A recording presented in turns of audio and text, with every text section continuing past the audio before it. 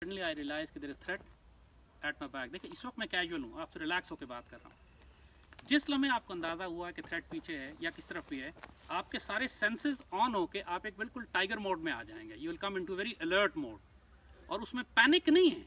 आप काम तेज़ कर रहे हैं, जल्दबाजी में नहीं कर रहे हैं। एंड यहाँ पे वो जो सारे फ़ंक्शंस आपके हैं, जो ट्रेनिंग आपने की हुई है, यहाँ पे फिर वो काम आती है। अगर ट्रेनिंग नहीं की तो आप पैनिक कर जाओगे। So I am relax I am talking to you suddenly I realize there is a threat I draw my gun I come back I I lose my magazine.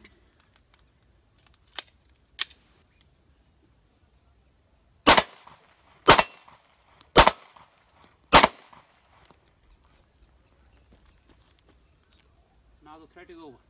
Multiple hits on the target. I'm relaxed. Now, okay, now I can chamber my round. और आपने देखा कि हमने magazine change करने में वक्त नहीं ज़ाया किया।